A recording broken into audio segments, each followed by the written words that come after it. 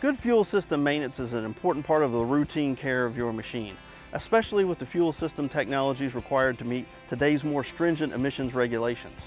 You should always use clean fuel, drain the water from your fuel water separator, and change your fuel filter element per your operation and maintenance manual. But not all manufacturers make that an easy task.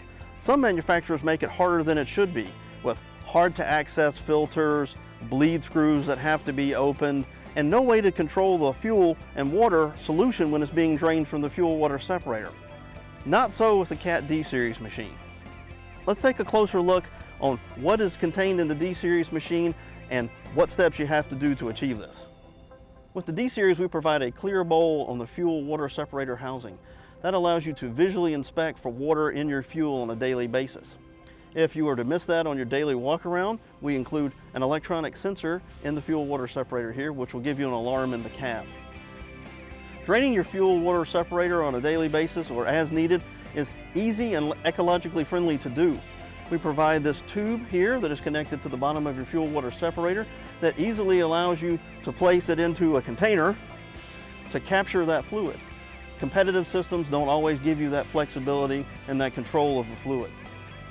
Let's take a closer look at actually how you do that. First, you remove the electronic sensor connector on the bottom of the fuel water separator. Then, using your container to capture the fluid, you loosen and then simply turn the valve on the bottom of the fuel water separator to allow the flow of fluid to start. Once you visually can see that the water has left the fuel water separator, all you need to do is tighten the valve and reinstall the connector on the bottom of the fuel water separator. And then properly dispose of the fluid from your fuel water separator. With the fuel system provided on the D-Series machines, priming the fuel system and bleeding the air from the fuel system is very easy. With the automatic electric priming pump, you prime the fuel system with just the turn of the key switch.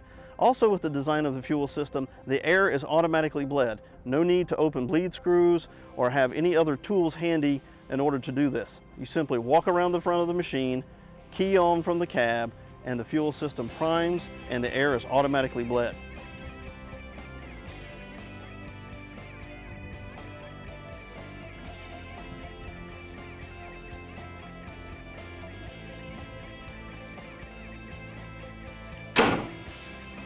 So as you can see, the D-Series was designed with routine maintenance in mind to help you protect your investment.